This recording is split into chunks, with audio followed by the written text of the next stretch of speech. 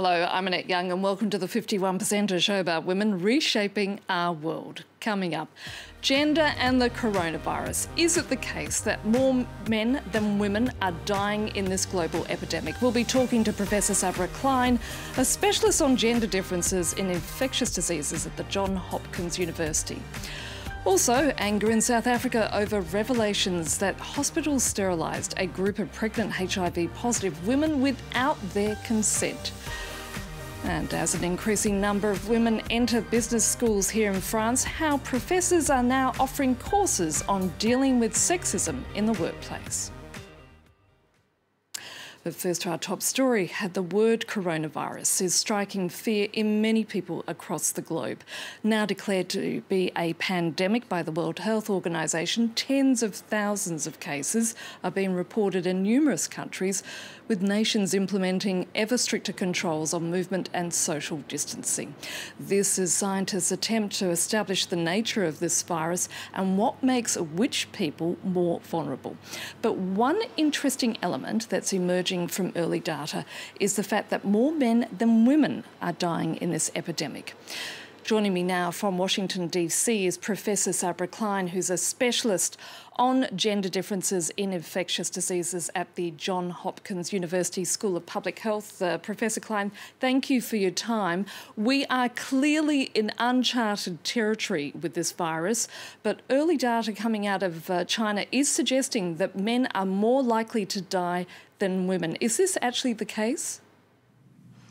Well, thank you, and thank you for raising um, awareness to this issue. Yes, this is the case, and you correctly identified that it is that the severity of this novel coronavirus and mortality from this novel coronavirus appears at these early stages, again, based on data coming out of Wuhan, China that it is males that are significantly more likely to die. And one important clarification is that it is older men. Men 75 years and older are where we are seeing the largest difference between men and women. The mortality rates among men is twice as high as it is in older aged women. Why is this happening? At the moment, as the pandemic uh, continues to unfold, we do not completely know why, but there are speculations or what we would term hypotheses. One hypothesis is that underlying illnesses, um, what we often refer to as comorbidities, illnesses that increase risk for more severe outcomes, can in some cases be more prevalent in older men than women pulmonary disease, cardiovascular disease would be two examples. Another hypothesis is that behaviors or lifestyle choices that are associated with greater risk of more severe outcome. There has been a lot of discussion both in the media and in the scientific literature about the role that smoking may play. Men are significantly more likely to report smoking in China than are women. The numbers are staggering. Over 90% of smokers are presumably men in China. Um, I would, however, like to caution our analysis of the role that smoking may play in these gender associated differences during this novel coronavirus uh, pandemic, in part because in China, it is not socially acceptable, or if you will, considered feminine for women to smoke. And so the third hypothesis, so in addition to other illnesses, lifestyle choices, um, is our biology. There can be biological differences in the immune systems between men and women, and which impacts our ability to fight an infection. And there are going to be data, again, coming out of China suggesting that our blood chemistry and immune cell counts do in fact differ between men and women and may in fact be contributing to some of the differences that we're observing in the severity of disease. Professor Klein, does that mean that men are immunologically weaker than women?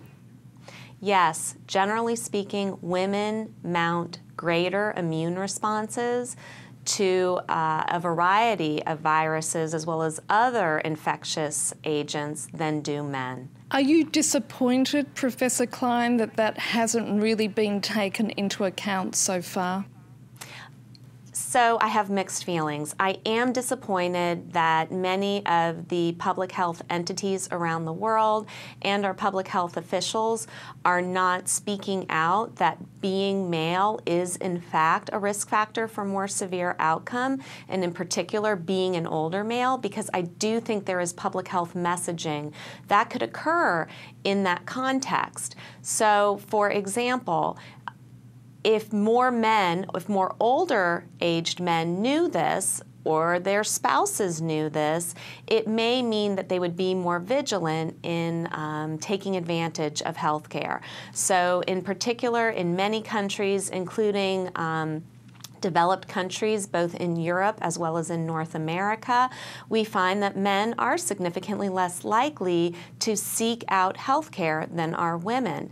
This would be an example of a time where we want to mitigate that. We want men seeking out health care at the first signs or symptoms that are consistent with this novel coronavirus infection. Professor, and with regards to practicing hygiene, would it be right to assume that women tend to be more responsible than their male peers in ensuring not only themselves but people around them and in their households are doing all the right things with washing hands and cleaning surfaces and so on? Such a fantastic question, and the simple answer is yes. There are data to support your statement. Women are significantly more likely to wash their hands, and when washing their hands, are significantly more likely to use soap. They are significantly more likely to encourage those around them to um, engage in proper hygiene to prevent spread of infectious diseases. So this is also a public health message uh, that, that men need to improve these behaviors to avoid infection, knowing that in fact they may suffer a more severe outcome. Professor Klein, we're going to have to leave it there. Thank you so much for your time. Thank you for having me. Moving on, and there's been an outcry in South Africa over revelations that hospitals had sterilised a group of pregnant HIV positive women without their consent. This, according to an investigation by the government's Commission for Gender Equality. The investigation prompted by a 2015 complaint which documented 48 cases where women were allegedly either forced to or coerced into agreeing to the procedure while giving birth. Nicholas Chemin has more. Many South Africans were shocked when a recent report said dozens of women were sterilised without their consent. Doctors removed their uterus without them knowing. Most of the documented 48 cases concerned black women who were HIV positive. Bonga Bongekile Sibi is not HIV positive, but she was one of the victims. She was trying to have a second child when her doctor told her she didn't have a uterus. She went back to the hospital where she gave birth a few years ago. They simply told her they removed her uterus after the child was born, but didn't say why. Unfortunately, I can't just sit back and um, and be okay with the fact that I don't have a uterus. I don't even know why I don't have a uterus. You know, if maybe there was, there was a, a valid um, explanation, maybe I could find closure and you know accept. But it's so difficult to find closure when I don't even know why I don't have a uterus. The Commission for Gender Equality carried out the investigation. The procedures were conducted in dozens of hospitals on women who gave birth via caesarean section between 2002 and 2015. There was no reason for these women who were living with HIV, for these women who were found to be having TB, and for these women who choose to have seven babies to actually be operated on in that manner. The South African government said it would meet the victims of coerced sterilisation. Activists say it must, above all, swiftly investigate all the medical professionals involved in the scandal. And finally, as more and more women enter business schools here in France, professors are having to rethink how to teach students about sexism in the workplace. Our colleagues at France 2 report on how Paris business schools are now offering classes on gender equality. In this business school, it's not only marketing or finance on the timetable. All first year students have to attend this class too. She manages like a guy. What that means is that you have a managing style that's out of step with what we expect from you as a woman. Three hours of teaching these future managers about gender stereotypes, which contribute to gender inequality both at work and in society as a whole. Adverts also feed into these stereotypes.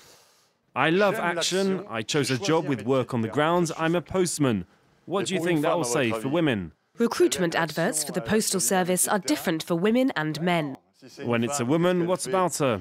She likes to feel useful, she wants a job that's meaningful, she's a postwoman. It's not just teachers who are trying to raise awareness. The university's Feminist Society organises workshops to teach students how to negotiate a salary. In general, women negotiate lower for their first salary, their first contract. This consultant helps female students to prepare for job interviews. At the age of 20, it's not easy to make demands. We're all in the process of looking for internships. To have the courage to say no and to stand up for yourself, it's tricky. When we're there, we just need to start off by asking for more than we would normally, and then we go on from there and see what happens. Student members of the Feminist Society are determined to make sure things change. For the Society's president, accepting a lower salary than a male counterpart is out of the question. If women decide to stop putting themselves down, to stop underestimating themselves, at some point employers will say, What? They won't do that anymore? What do we do? Well, we hire them. It's up to us as women to say, if you don't want to give me the same salary as Tom, Dick, or Harry, well then, sir, I'll take my skills and I'll go. Hire Tom in that case. In France, most business schools have put in place measures to improve equality between men and women. And that's it for now. You can also connect with us via our Facebook page, that of course being France24.51%, or do send us a tweet at underscore 51%. So until our next show, bye for now.